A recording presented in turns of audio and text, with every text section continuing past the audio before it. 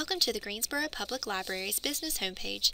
In this tutorial, I will provide an overview of the business resources that are available to you as patrons and how to navigate your way around the site. From the business homepage, you can see we have a variety of categories for you to choose from based upon your needs. In the first section, we will find information on starting your own business. When you click here, you'll see a variety of links to well-trusted sites that can help you on your way to starting a business. We'll then take a look at the business databases that are available to you as Greensboro Library patrons.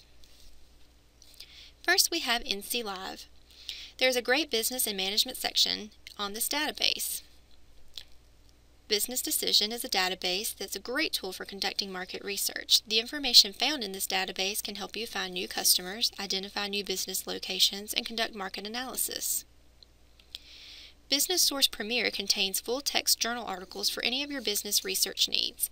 Here you will be able to access company information and profiles, videos from the Harvard Faculty Seminar Series, market research reports, and industry profiles. Hoover's Online is a database that allows you to search for U.S. and international company listings. You can make customizable lists by industry, size, and geographical location, create marketing plans, and conduct analyses.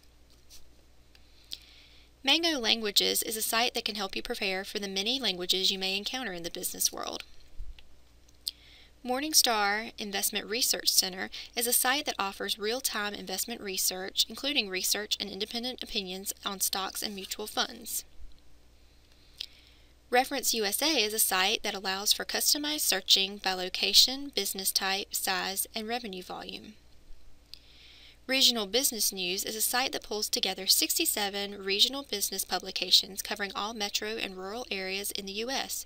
Business North Carolina can be found here. Simply Map is a mapping application that lets users create quality thematic maps and reports using demographic business and marketing data. Small Business Reference Center is a site that contains a wide variety of information on small business and entrepreneurial subject areas. Many popular sources, such as the NOLO books, are available in full text here. And last but not least is ValueLine. This site is a great investment tool for researching stock information for particular companies and determining the overall climate for any given industry. This was a quick introduction to the variety of sources, sites, and databases available to ensure your success.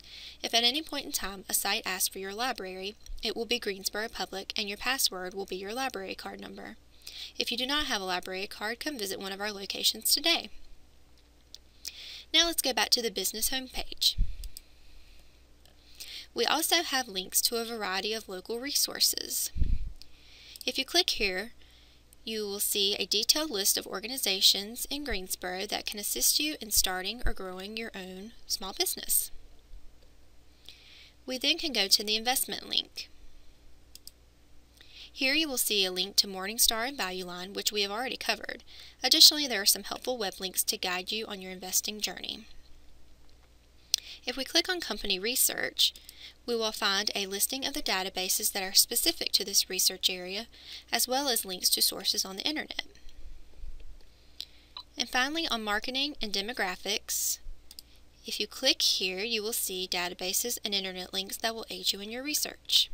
Come to the Greensboro Public Library and explore all of the resources available to our patrons.